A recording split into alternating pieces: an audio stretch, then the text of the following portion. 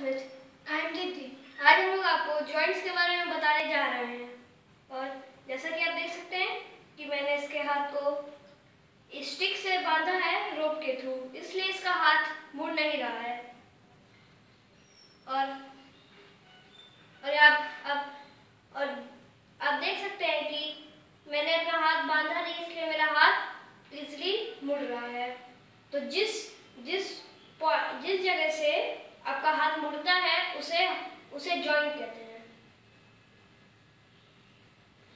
कई तरह से जॉइंट्स हम लोग के बॉडी में होते हैं। जैसे neck knee elbow joints two types के होते हैं। एक मूवेबल जॉइंट और फिक्स फिक्स जॉइंट एक या जो मूवेबल जॉइंट्स होते हैं, वो मूव करते हैं।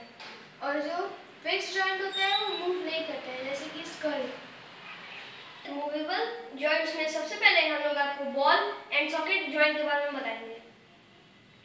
हम लोग के हैंड में हम लोग अपने हाथ को ऐसे फ्रीली मूव कर सकते हैं. आप देख सकते हैं. क्योंकि इसमें बॉल एंड सॉकेट जॉइंट पाया जाता है. वही जॉइंट हम लोग के लेग दोनों लेग्स में भी है जैसे कि आप देख सकते हैं इस साइड में और ये उतना फ्रीली मूव नहीं करता है अब मैं आप लोग को पायोटल जॉइंट के बारे में बताऊँगी ये हम लोग का नेक एक एग्जांपल जैसे left right front backward sorry front backward हम लोग के नेक पे पायोटल जॉइंट है, इसलिए इस तरह से मूव है अब मैं आपको हिंग जॉइंट के बारे में बताने जा रहा हूँ जैसे आप एग्जांपल ये हम लोग का हैंड और हम लोग का लेग जॉइंट में आपके डोर्स और विंडोज़ में भी ये जॉइंट टाइप एग्जांपल पा सकते हैं यहाँ पे। आप देख सकते हैं।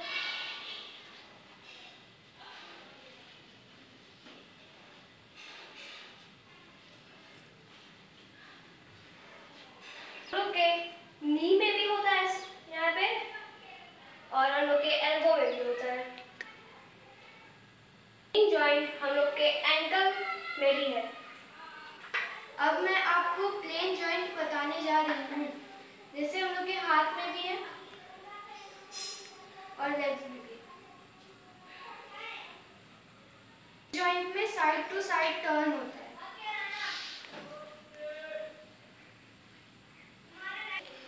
नेक्स्ट मूवेबल जॉइंट हम लोग की एलिप्सॉइड जॉइंट है। जैसे आप जैसे किसी को बाय करते हैं तो इसे एलिप्सॉइड जॉइंट कहते हैं। यहाँ पे दो बोन के होने से आपकी ये एलिप्सॉइड जॉइंट की मूवमेंट होती है। अब मैं आपको सेंटर जॉइंट के बारे में बताने जा रही हूँ। ये जो हम लोग का थंब है, इसके बीच में जो जो हम लोग का थम है, इसके बीच में जो बोन है जॉइंट है, वो सेंडल जॉइंट है।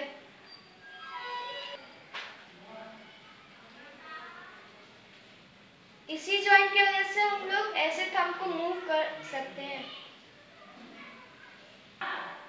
अब मैं आपको कॉन्डिलॉइड जॉइंट बताने जा रहा हूँ।